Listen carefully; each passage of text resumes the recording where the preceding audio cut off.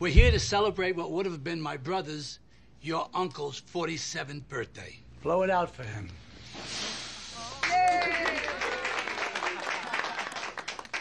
Right here at this bar, this seat was Uncle Billy's favorite place in the whole world.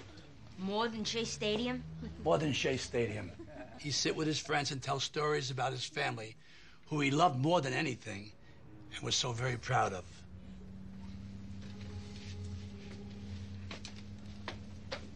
From now on, his ashes will be right here.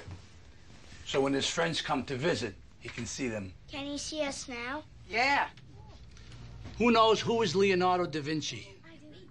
Maddie? Yeah, he wrote the Da Vinci Code. No. Another man wrote that, but it's a hideous, sacrilegious book. Annabella? He was a painter of the Mona Lisa. Very good.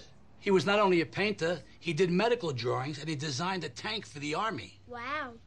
Leonardo was a great Italian, and that was our name originally, Leonardo. But many years ago, when my grandpa came over from Sicily, they changed it at Ellis Island to Leotardo. Why did they do that for? Because they're stupid, that's why. And jealous.